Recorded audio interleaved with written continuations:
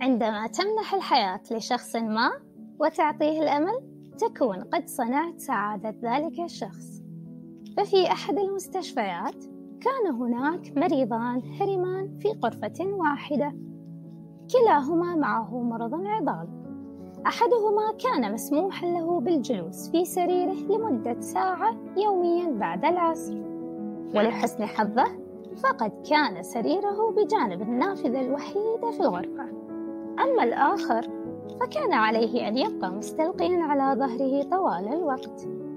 كان المريضان يقضيان وقتهما في الكلام دون أن يرى أحدهما الآخر لأن كل منهما كان مستلقيا على ظهره ناظرا إلى السقف. كان الأول يجلس في سريره حسب أوامر الطبيب وينظر في النافذة ويصف لصاحبه العالم الخارجي. وكان الآخر يستمع لوصف صاحبه للحياة في الخارج للحديقة والبحيرة الكبيرة والبط والأولاد الذين صنعوا زوارقا من مواد مختلفة وأخذوا يلعبون فيها داخل الماء.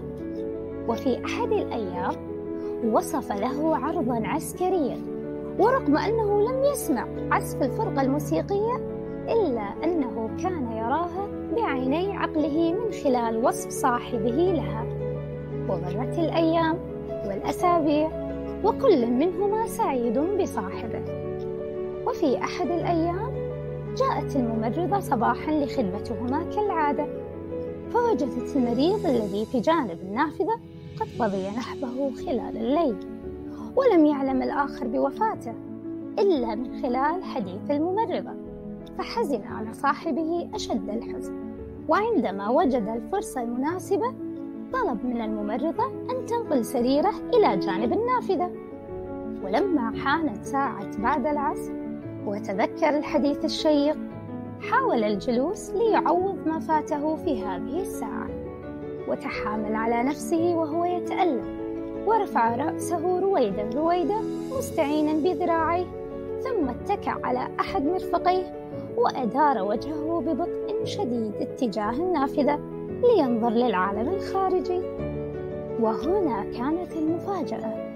لم يرى أمامه إلا جدار أصم من جدران المستشفى. فقد كانت النافذة على ساحة داخلية.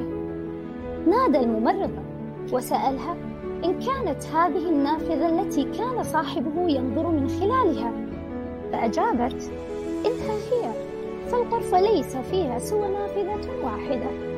ثم سألته عن سبب تعجبه فقص عليها حكايته مع صاحبه وتعجبت الممرضة وقالت له ولكن المتوفي كان أعمى ولم يكن يرى حتى هذا الجدار الأصم ولعله أراد أن يجعل حياتك سعيدة حتى لا تصاب في اليأس فتتمنى الموت.